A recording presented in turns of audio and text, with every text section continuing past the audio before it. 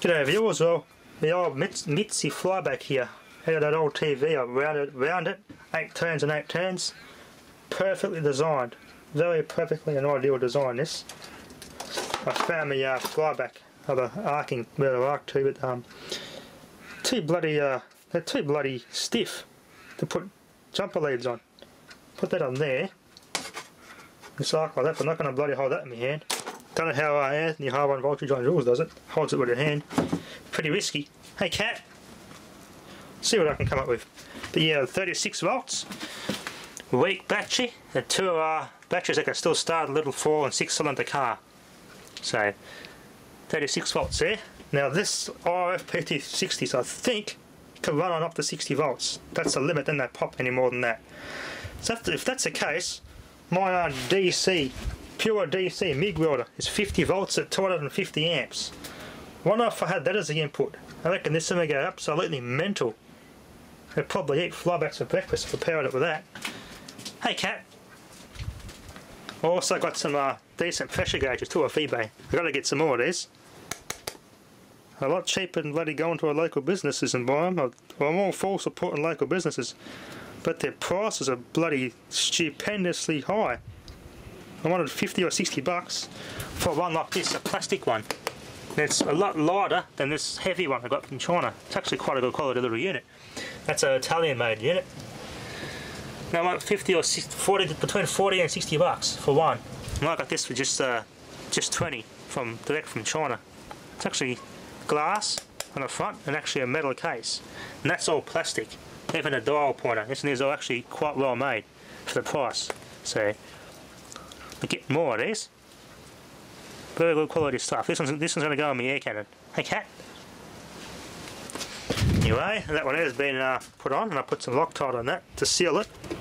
Better than that one. That's a vintage one, and this is is still a lot heavier, more robust on this one. Between 0 to 220, instead of 140, 170. The extra bit won't hurt. Give me some extra range. Anyway, let's get back to this flyback.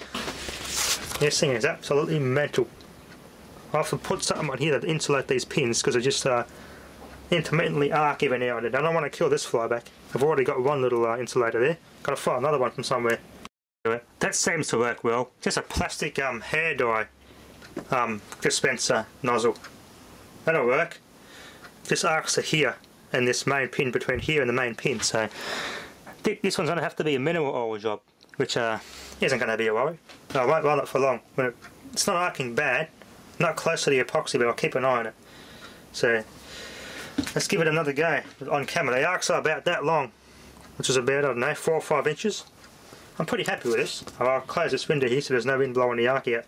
Alright, there's a little arcing thing. Um, put that on there instead. Let's see what I can do. I'll try with this first. Got to be careful here. And connect.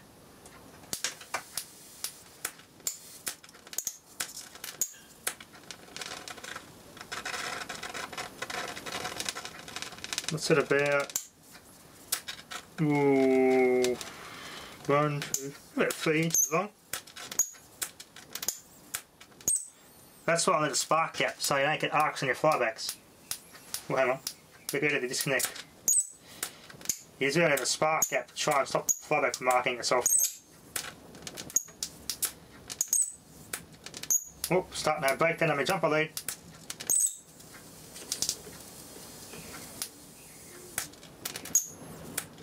It's on a bit here. Oh yeah, that's a focus control there. Arcs on that thing. That's what the focus, focus control module is.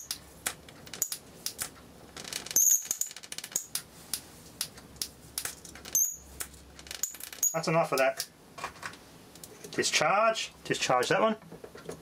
Oh, discharged. MOSFET's a bit, a bit warm, but not much.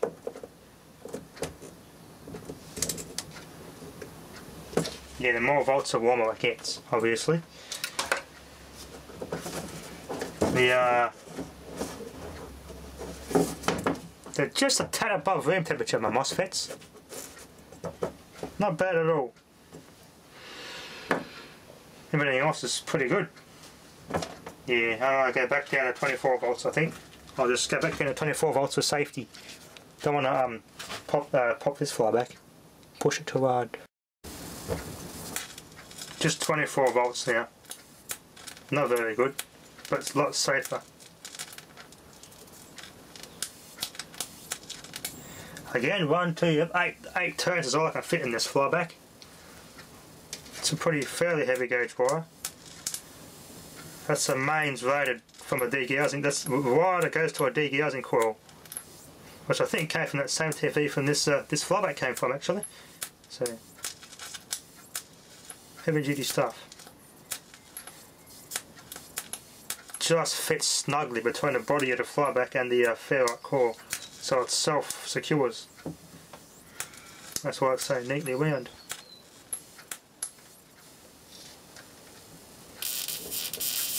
Yeah, nothing much there now. This one's happiest on uh, 36 volts, I think. Disconnect. Discharge. Does have a little capacitor in this one, somewhere. Might be in here actually. Might be a little tiny one in there somewhere. Alright, let's try it again.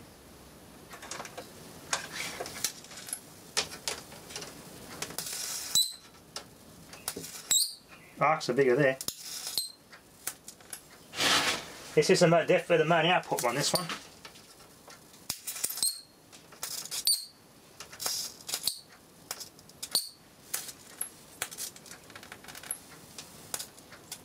Arc's fit there for some reason. Green arc, burning insulation. Cool. Breakdown. Alright, disconnect. Let's see if I can arc or um, plasma effect somehow with a light bulb. Let's see if I get that effect in the light bulb. Plasma bulb effect, see if it works. I might not be doing it correctly. Not the correct type of light bulb because you can't get regular incandescent bulbs anymore. Oh, pants. Hang on. I can just see something. You haven't got enough volts. There's corona in there. Oops. Oh, here we go. Arc in there. I just buggered the bulb up. It's buggered burnt through the glass. I've got an arc in there though. Arc in a light bulb, but the arc was so hot it burnt the glass. It's not in the glass now. Look at that.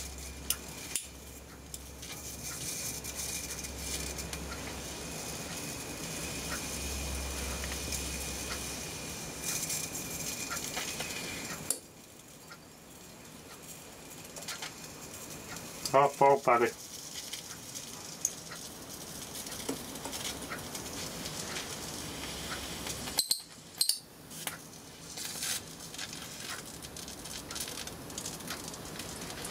Glass dead shorter now. Look at that. Glass lighting itself up.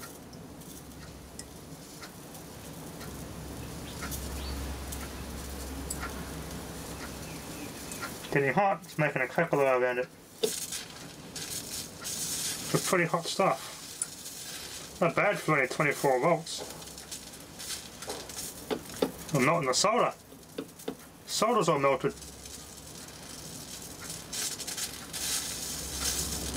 This is more fun and this is more destructive than the NST.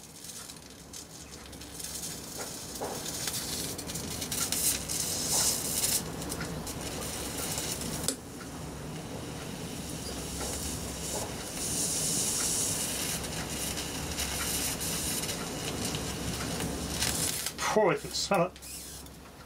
Power off, discharge. Yeah, no charge in this flyback. Cool, warm, cool. Flyback's a tad warm. Primary's a tad warm as well, but not too bad. Bloody hell. Invent the place. The arc makes a lot of ozone. Eh? Ozone and burning a light bulb, bloody solder and everything. Oof. So the only bloody fumes coming from this is the solder fumes and the uh, ozone. Oh, that's still bloody hot. There we go, it's buggered. Hmm, what else should we try? Let's see what else I could try. Try this uh, um, on this bloody um, H4 here. Say flowback there. No.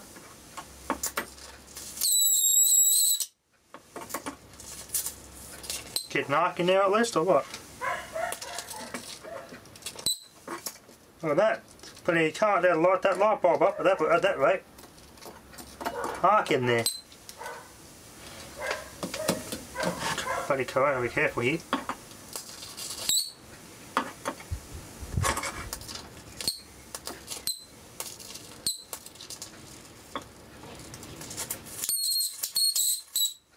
Not as, not as interesting as I thought.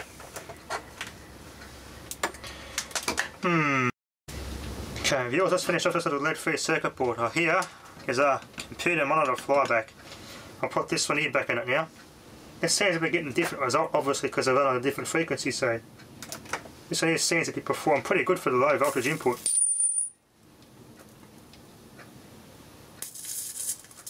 The uh, little sensor there.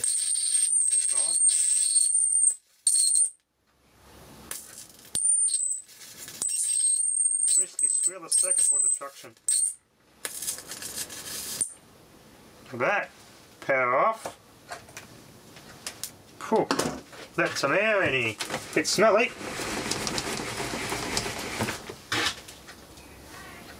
Yeah, blue traces and everything. A lot of colour behind that. I've got one, how much have I got on this one? Let's see, one, two, three, four, five, and five on this one. Don't seem to do too bad at all. Let's try it on 36 volts. Seems this is a pretty good performer on 24 volts. Alright, let's give it a try on 36 volts. This is probably going to go mental. Alright. Whoa.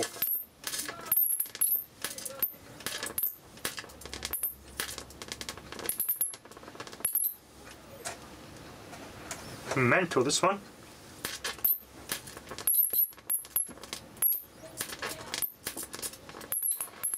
All that.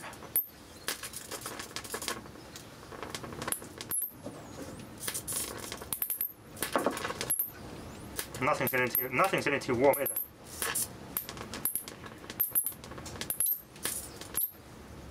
Smell the heat. Ooh, it's hot arc. That's a hot arc. Now that tunnel's getting red hot. That's bloody hell, it's induced some current. Yeah, ZVS is just above room temperature.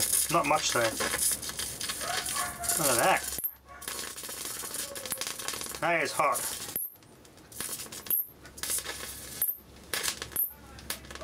Whoa, green arcs. Power off. Discharge. Damn, that's insane. Alright, I'll disconnect it, unplug safety first. Warm. The flybacks not doing too badly. Inductor, warm. Capacitor's warm. The FETs, eh, haven't changed much.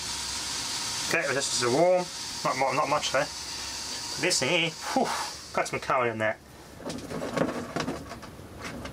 Yeah, the flybacks probably um, yeah, about as warm as a capacitor is, but it's not, dangerous, not, not dangerously warm, so here we are. That'll be enough for now, viewers. Thanks for watching.